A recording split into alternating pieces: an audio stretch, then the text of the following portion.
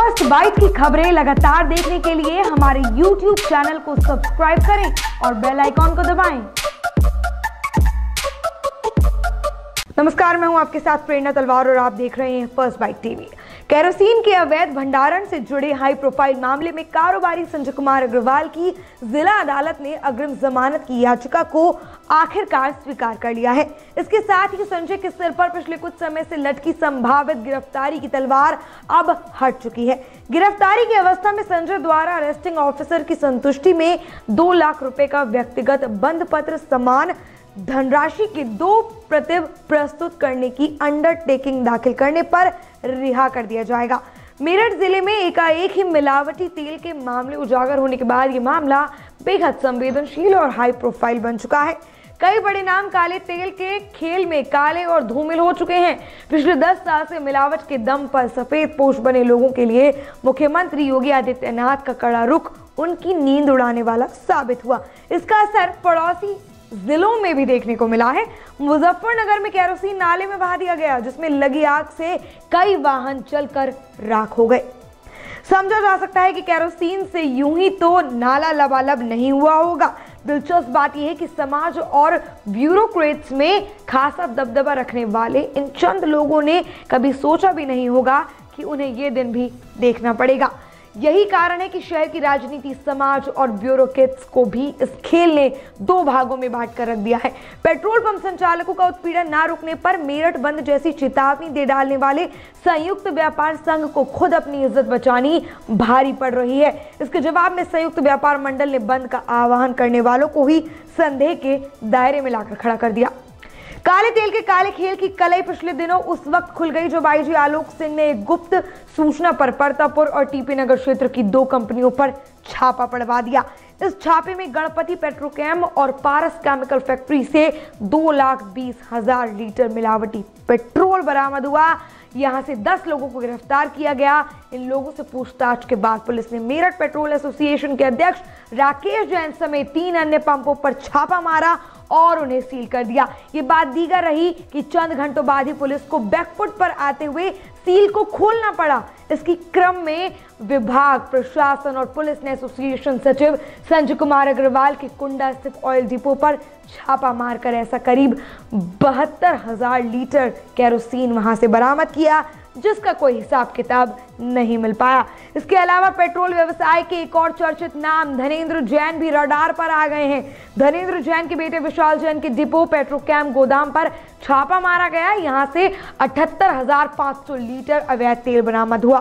गंभीर बात यह रही कि मौके पर धनेन्द्र जैन और विशैल जैन को भंडारण का वेरिफिकेशन करने के लिए फ़ोन पर बुलाया गया, लेकिन दोनों ही प्रशासनिक टीम की कोई परवाह नहीं कर रहे।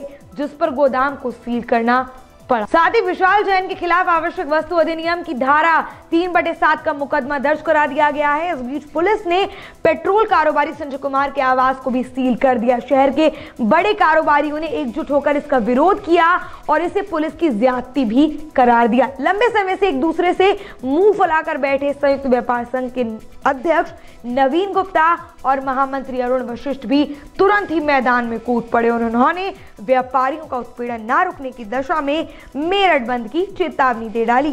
संयुक्त व्यापार संघ की इस चेतावनी को व्यापारी वर्ग में ही खासी नाराज़गी के रूप में देखा गया, क्योंकि व्यापारियों के बीच तेज़ी से पकड़ बना रहे संयुक्त व्यापार मंडल के अध्यक्ष पंडित आशु शर्मा ने विगत दिवस कहा कि संघ व्यापारियों के हित के लिए है।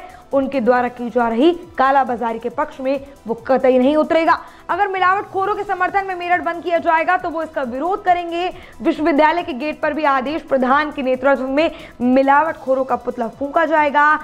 व्यापारियों के कई गुटों के संघ की खिलाफत में उतरने से संयुक्त व्यापार संघ की इस मामले में खासी किरकिरी हो रही है। पेट्रोल कारोबारी संजय कुमार की गिरफ्तारी पर रोक के लिए अग्रिम जमानत की याचिका पर आज अदालत ने अपना फैसला सुना दिया और कल इस मामले में गिरफ़्तार किए गए एसोसिएशन अध्यक्ष राकेश जैन के भतीजे गुड्डू जैन को जमानत दे दी गई थी, जबकि संजय की याचिका पर निर्णय सुनने का अधिकार आज तक के लिए सुरक्षित रख लिया गया था। संजय की अग्रिम जमानत की याचिका पर कल से ही संदेह के बादल मंडरा रहे थे। लोगों को लग रहा था कि जिस तरह से संजय की घेराबंदी की जा रही है, उसे देखते हुए अग्रिम जमानत मिलना मुश्किल है, लेकिन आज दृश्य बदला हुआ नज़र आया। संजय कुमार को आज अग्रिम जमानत मिल गई। इसी क्रम में बता दें कि मिलावटी तेल के मामले में जिन 10 लोगों को गिरफ़्तार करके जेल भेजा गया था, उनमें से भी अधिकांश की जमानत पुलिस की प्रभावी पैरवी न होने के कारण जमानत हो चुकी है।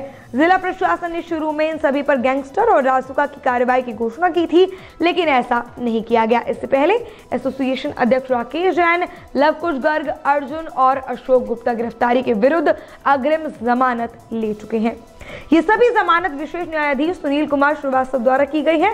उधर मुख्यमंत्री योगी आदित्यनाथ द्वारा स्वयं मिलावटखोरों और कालाबाजारियों के खिलाफ चल रहे कार्रवाई की सीधी मॉनिटरिंग करने के कारण तेल माफियाओं में हड़कंप के हालात हैं। बीती रात मुजफ्फरनगर में सुजडू चुंगी के निकट इंडियन ऑयल डीलर मैसर्स, रघुवीर सरन प्रेम कीर्ति सरन का गोदाम है। देर रात गोदाम से बड़ी मात्रा में कैरोसिन नाले में पहुँच गया। कैरोसिन की मात्रा इतनी अधिक थी कि देखते ही देखते नाला कैरोसिन से लबालब हो गया और कुछ ही देर में तेल ने आग पकड़ ली। आग की चपेट में कई वाहन आकर राख हो गए। फायर ब्रिगेड ने बड़ी मशक्कत से आग पर काबू पाया। और अब इसके अगले हालात क्या हैं वो बताएँगे अगली खबर में। फ़िलहाल मुझे इजाज़त दीजिए, फिर से लौटेंगे इस मामले की अपडेट को लेकर। चैनल को सब्सक्राइब और वीडियो को लाइक करना मत भूलेगा नमस्कार।